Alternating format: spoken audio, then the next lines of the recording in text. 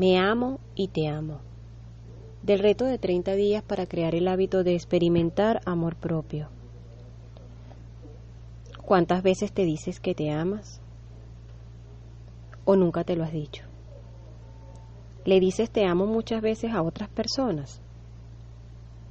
Revisa y reflexiona. Date el permiso.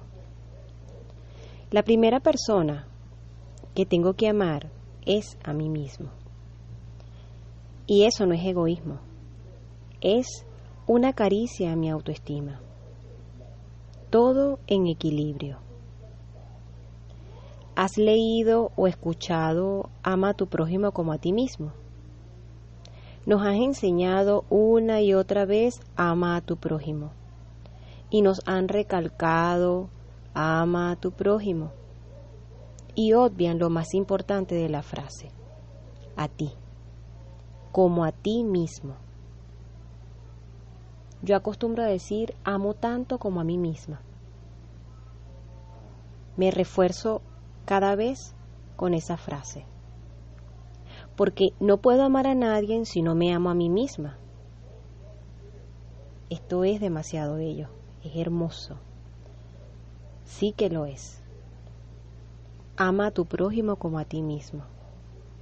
Amo tanto como a mí misma. En mis relaciones de familia, amistades, conocidos, laborales y sobre todo en mi relación con la fuente, la fuente de poder que es Dios Todopoderoso, tengo claro que el amor empieza por mí.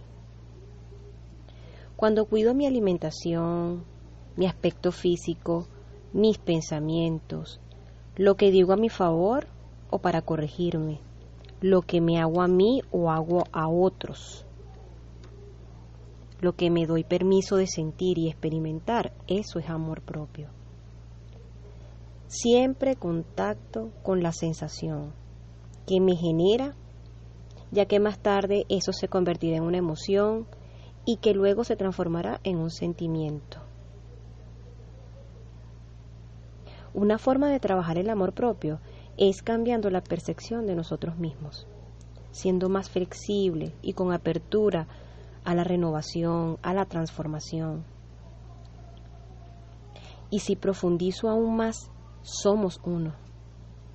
Somos células del Padre, de una misma fuente, la fuente de todo lo que es.